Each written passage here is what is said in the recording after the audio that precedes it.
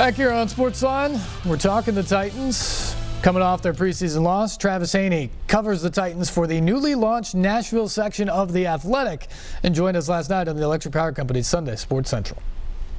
To talk more about the Titans, we bring in Travis Haney from The Athletic. Titans coverage for the site began on Monday. So first off, Trav, congratulations. Nice to be back with you, Steve. Yeah, great to have you here in studio. Now, you were in Pittsburgh for the game on Saturday. Tell me, was Marcus Mariota as bad in person as he looked to many fans on TV? And how big of a concern is that coming off his most extended action of the preseason? Yeah, Steve, I, I think everybody in that dress rehearsal game wants to see a sharp offense moving forward, getting better, and – you can't really say that about any facet of it, Marcus included.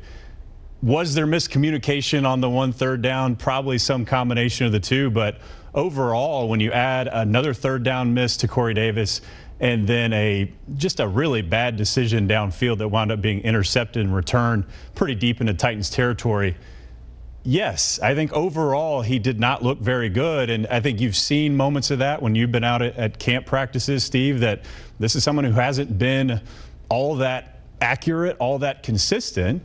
Some of that maybe is the shuffling of the receivers that he's had to deal with during the course of the month of August. But going into now he's not going to play this week, so you won't know until week one whether it was indicative of kind of where he is right now or whether you just scrub it and say, ah, it's just the preseason. We learned today that Rishard Matthews is coming off the pup list. That's great news. What does the addition of the team's best receiver the last couple of years do for Corey Davis, Taywan Taylor, the rest of that receiving corps? Yeah, I mean, we were talking about it in the pre-show that – when you add a Rishard Matthews who had 118 catches the last two years, when you add a Delanie Walker who was right in that same area, 139 catches in the last two years, that's a lot of probably what you've been seeing with this offense the last two or three weeks is – inconsistency in terms of who he's throwing to, uh, younger guys, uh, journeyman types like Darius Jennings and Nick Williams. So I think the comfort level, once you get Rishard back out there, and certainly once Delanie Walker comes back from his injury, I think you'll see a lot different flow. I, to me, that may be the thing that we're not talking about enough we're wanting to see this chemistry with Corey Davis, but he doesn't have the, the comfort level, the security blanket type guys that he's had in the past. We also know Mike Vrabel really wanted to see that running game get going in the third preseason game. Just eight carries for 23 yards from Derrick Henry and Dion Lewis. They say they're still figuring out what the roles are back there. What's the ideal makeup of this backfield in your mind? Yeah, Stephen, when we talked to Vrabel after the game last night, the sense was they knew going in the Pittsburgh front seven was going to be tough. They were going to blitz, they were going to twist and the offensive line didn't really react to that. You didn't see a lot of holes. Like even the week before, Dion Lewis gets free on a couple of screen passes. Those alleys, those lanes just simply weren't there. So I think there was some real disappointment about not being able to even establish any semblance of the run to set up anything downfield. And uh, I think the, the takeaway for me from that was we knew this was going to be the case. We knew Pittsburgh was going to do this and we still didn't have an answer for that. We still didn't respond to that. So I think that's the run game, that's the offensive line. We already talked about Marcus, but as an offense overall, you didn't see anything that really made you feel good going forward because they didn't have the game plan that they knew that they needed.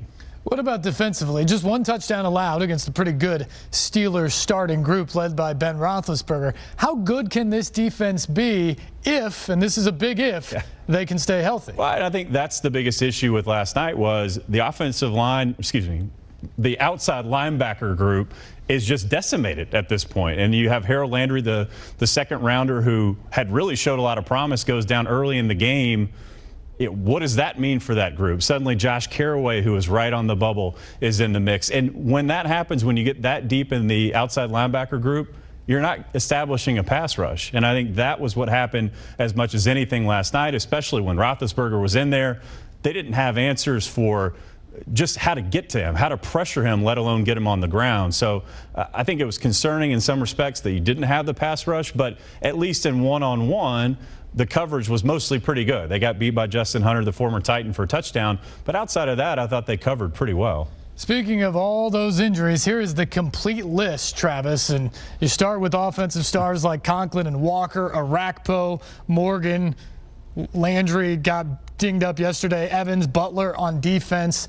How big of a concern is this now two weeks out from the regular season opener? Yeah, I'd say without going name by name, you know, about half of them are probably going to be back pretty soon. Uh, Landry, I think that's a key one. Let's see what his ankle, how he responds this week. If he's back out there, I think that would be a big boost to that outside backer group. Uh, I think it's great that you don't see Rishard Matthews' name on there for the first time. But my deal with this, Steve, is you're talking about the entire month of August with a new coaching staff trying to establish what they have and, and, get some rhythm, get some chemistry. What these injuries have done, you see the variety of positions, is prevent them from seeing what their top 11 look like on either side of the ball, whether that's in a preseason game or a practice. It's just, I feel like it's been disruptive. I think that would be the word that I would use more than anything else that they haven't been able to evaluate maybe the top line guys as much as they have the depth, which the preseason is more for depth, but at the same time, you'd like to see, you know, what what does your outside linebacker group look like? You don't really know because you haven't really seen 98 and 91 out there in a couple of weeks. Jon Robinson, Mike Vrabel going to have to sort through all of this now this week when they get down to the final 53-man roster by Saturday. Lots of decisions, and let's take a look here, Travis.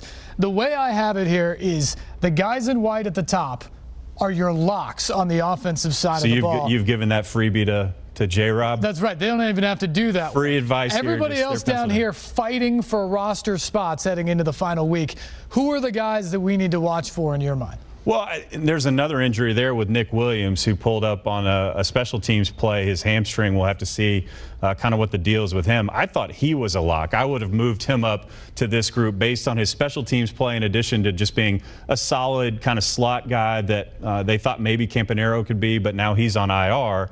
I would move him into that group. I think Luke Stocker is in that group. You saw him start last night at the uh, H back type position and I formation.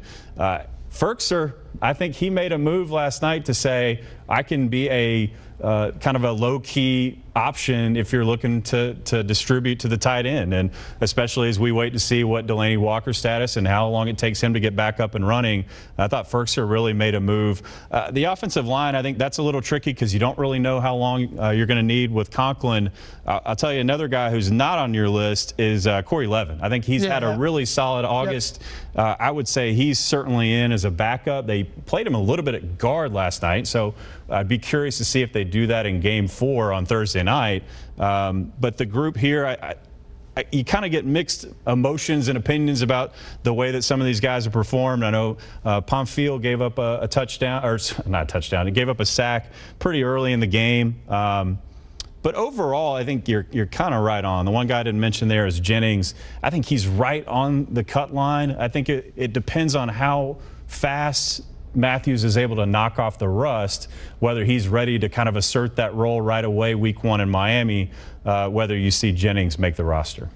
All right, defensively now, you look at this group, it looks like there's basically four guys across the board at every position. Again, these are all the guys fighting for spots either to help defensively or on special teams. Who do you like?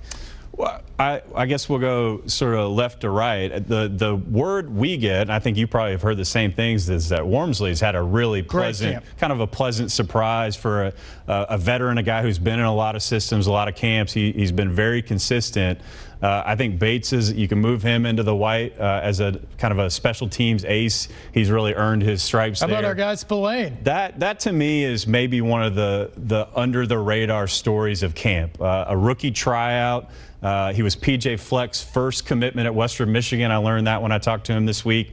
Uh, just someone who continues to show up. I asked Vrabel about him after the game in Pittsburgh, after he strips the ball and, and gets an interception, and apparently called a shot uh, Vrabel wow. said. His high school teammate who played in Indiana, Simmie Cobbs, caught a touchdown for the Redskins. And based on that, Vrabel challenged him to get an interception and he did. So wow. I don't know if there's a spot because if I'm really kind of extrapolating the numbers here, the inside backers are a little bit more kind of put together at this point than the outside group that we already talked about. So I think Finch is probably, you can move him up into the white just based on the injury situations there. We know it's going to be a while for uh, Morgan. Not sure about Orakpo. And Carraway is the one that I'm watching most uh, this week. I think it's a, a huge opportunity, just like uh, the second half of game three was. Uh, Vrabel singling him out for drawing a hold is something that was a positive for him. uh, this group too. I, I think Durden made a big move yesterday. Had a PBU right on the sideline. Uh, his usage in the game, Steve, if you look at it, was I think right around 55% of the plays that he mm-hmm. was in on. Gafford was only in for about 10% of the plays. So that may tell you a little bit the way they're tipping their hand, but I think a big game coming up Thursday for both of those guys as well for the fifth corner spot. It's a big game for a lot of the guys because assuming the three specialists are all set, all of our locks bring the roster to 40, which means there's 13 spots for the remaining 50 guys heading into Thursday night. Lots on the line. What will you be watching for the most?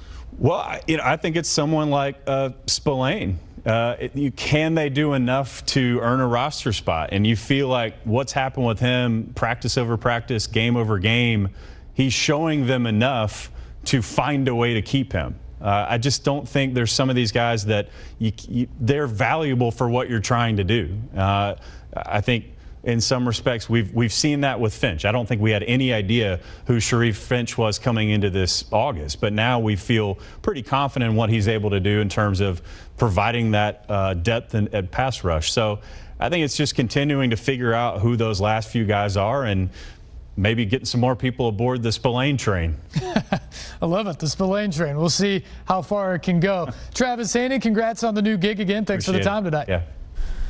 Thanks, Travis Haney from The Athletic, for being in last night. Great information there as we start to look at this roster that will come down to 53 men uh, by Friday or Saturday. They have to do it by middle of the afternoon on Saturday. Chances are a lot of it will be done on Friday as we start to put this roster together. Back to the phones we go. Let's say hello to James. James, good evening. Thanks for waiting. You're next up here on Sportsline. Y'all too. Uh, I was wondering when will Rashaan Evans be back?